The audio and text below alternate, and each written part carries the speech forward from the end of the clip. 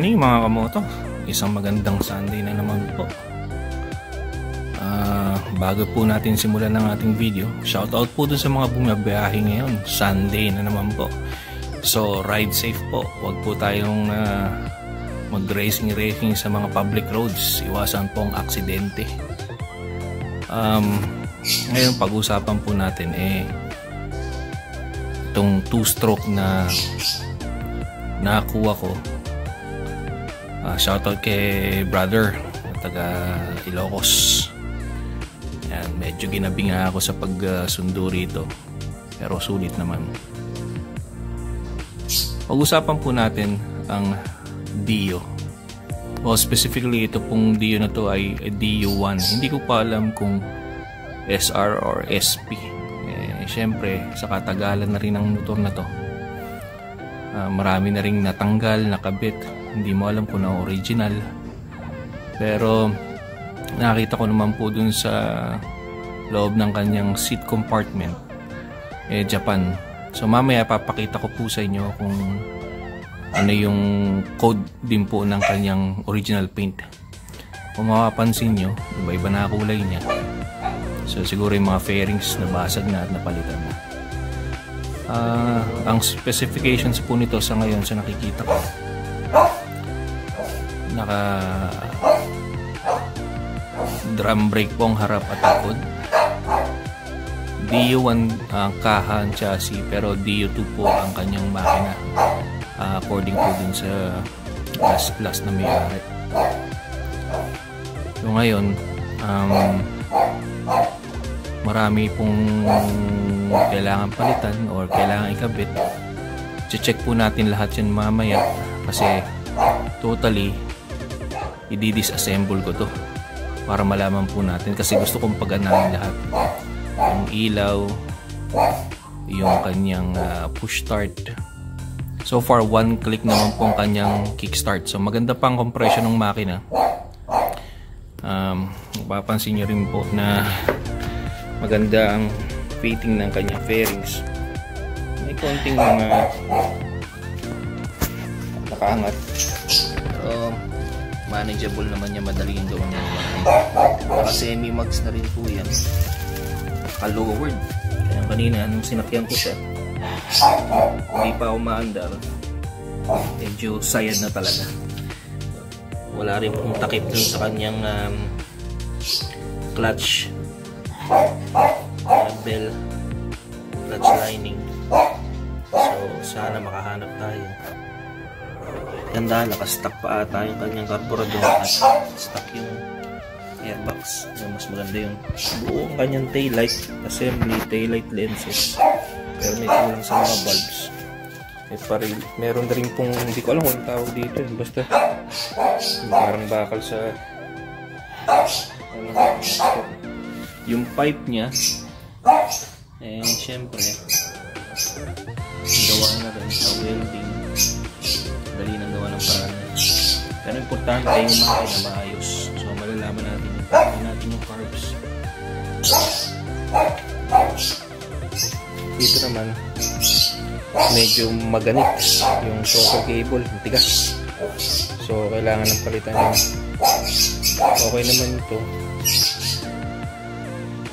Wala rin siyang uh, speedometer cable pero gumagana naman daw yung gas gauge niya hindi ko alam kung gumagana to. Wala rin siyang bulb sa headlight lagyan natin ang bulb mamaya. Tingnan natin kung gumagana siya. So ayan. Yung mga kulang na tornilyo pero okay pa naman. Original yung color dito. Kasi maganda kung hindi na repaint. Mga original nga head casing niya original may Japan speaker and madumi lang pero kaya linisin niya. Mga switches niya. Original. Pa okay. so dito naman parang masyado may clip. Hindi ko alam kung pinutol to or nakikita natin mamaya. Play life. Ang brake So, i-refresh lang naman natin to. So, ang plan po natin dito ay i-refresh ng hindi ganong gumagastos. Kumbaga, ayun.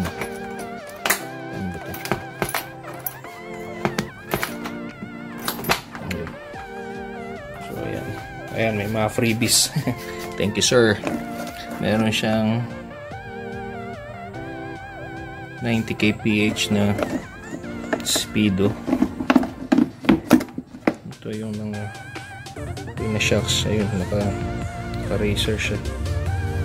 So, parang siguro ito yung mga uri na ano pakasago. Refresh na rin natin yan may mga belts na din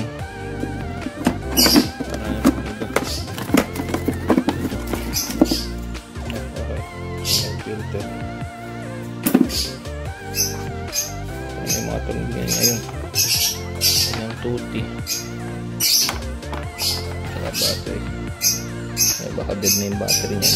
Tingnan natin kung natin so nakalimutan kong itanong sa may, dating may-ari kung halo na ba to or magkano pa yung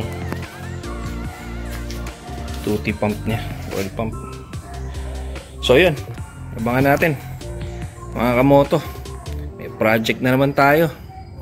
Yan pala yung mga alaga ko. Alright, let's go.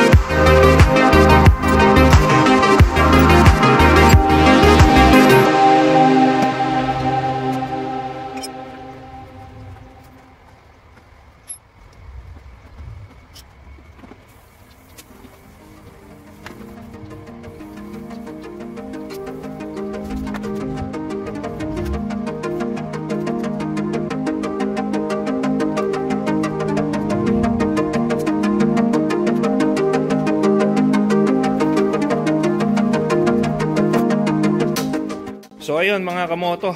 Bali, abangan nyo na lang po yung part 2 ng ating DU1 refresh.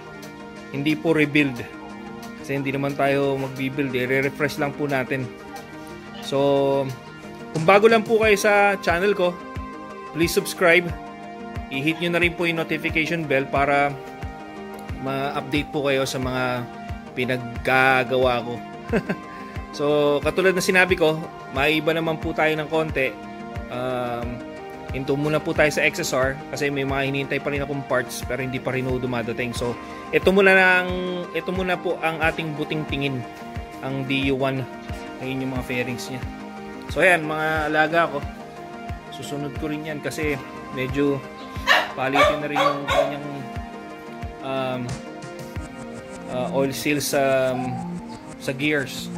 Ito naman on progress. Ayan, beta. Ayan. So, again, ride safe po mga kamoto. Tandaan niya, lagi ko pong sinasabi, huwag pong maging kamote, maging kamoto po. Stay safe.